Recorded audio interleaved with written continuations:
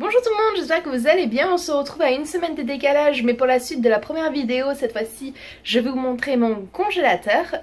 Euh, donc je vais faire le même système que j'ai fait pour le frigo la semaine dernière. Je vais vous présenter d'abord la porte, je vais ensuite l'ouvrir pour vous présenter en version très accélérée ce qu'il y a à l'intérieur en vous décrivant au maximum. Euh, quand mon frigo sonnera, fais, je refermerai la porte et je reprendrai la vidéo après que la température sera redevenue normale. Ce que j'avais oublié de préciser dans la première vidéo, c'est que j'ai un frigo et un congélateur aussi à l'extérieur. Parce que comme vous vous souvenez, j'ai une cuisine extérieure aussi, que je vous avais présenté dans ma vidéo Home Tour, que vous trouvez dans le petit i. Donc, c'est parti, on va... je vais vous présenter cette partie-ci.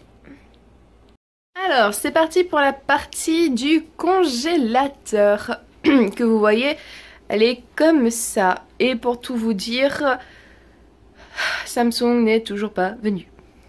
Alors, on commence par en haut qui est le Roussillon en Espagne. Ensuite, Côte d'Opale, Paris. Pralou, Futuroscope, Formaon, Bruges en Belgique. Le Bocuse euh, d'Epelec dans la France le Touquet Paris-Plage, encore Côte d'Épale, Betty Boop, Pralou je l'ai dit, euh, qui est en Belgique, euh, Marais-sur-Mer dans le nord, euh, là c'est euh, Bagatelle, trois photos du Futuroscope, encore Futuroscope, Futuroscope, Bagatelle, oula, voilà c'est mieux. Le parc Astérix, Astérix, Bagatelle, Futuroscope, Futuroscope, Futuroscope, Futuroscope, Astérix, Futuroscope, je sais plus. Futuroscope et Futuroscope. Voilà, déjà pour la porte, c'est fait. Ça a été rapidos. Bon, je vais vous montrer maintenant ce qu'il y a à l'intérieur de la bête. Et c'est parti. à l'intérieur de la bête, étant donné que c'est un frigo américain, dans la porte, il y a les glaçons. Ouhou, trop bien.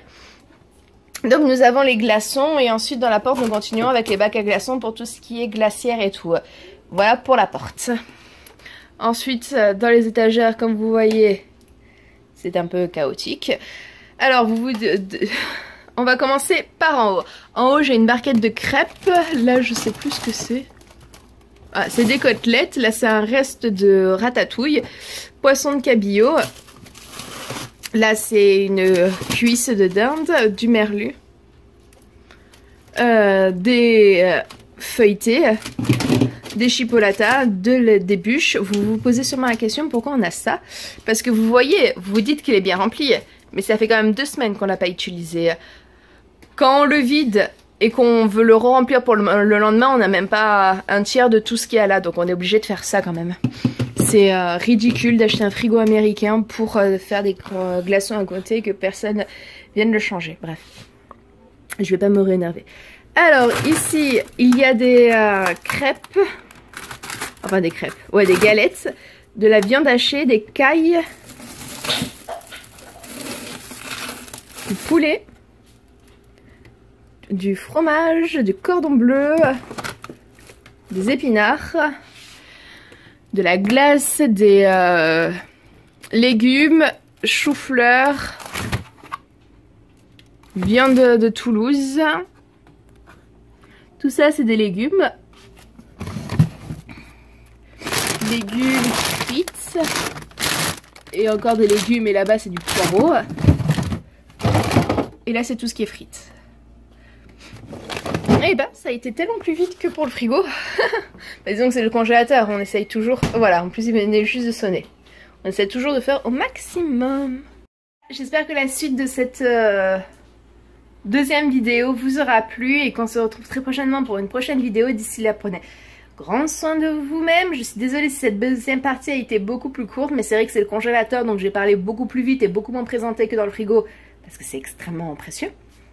Et voilà, on se retrouve bientôt pour une autre vidéo et d'ici là prenez grand soin de Bye